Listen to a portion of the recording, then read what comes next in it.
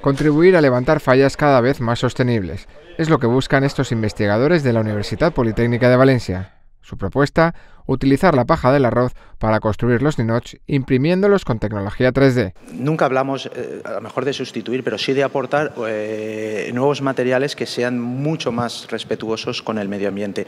Y lo primero que pensamos fue precisamente por la eh, particularidad que tiene Valencia, que está al lado de los arrozales, utilizar la paja de arroz, que es un residuo agrícola muy económico y que pensamos que puede ser viable para este proyecto. Un proyecto que sigue despertando el interés tanto de las comisiones falleras como del Ayuntamiento de la ciudad. Volem donar suport des del Ajuntament de València, estem fent un seguiment, una reunió eh, més en, que hem tingut ja en estos anys per a conèixer l'evolució del projecte i a partir d'ahí estudiar vías de colaboració. Además de los ninots, la paja del arroz se presenta también como una alternativa para los castillos de fuegos artificiales.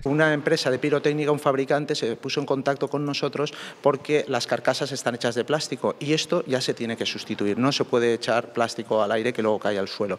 Entonces nos llamó muchísimo la atención que se pusiese en contacto esta, este fabricante muy importante para ver la posibilidad de hacerlo también con paja de arroz estos envases. Dos ejemplos de cómo la investigación tendrá un papel fundamental en las fallas sostenibles del futuro.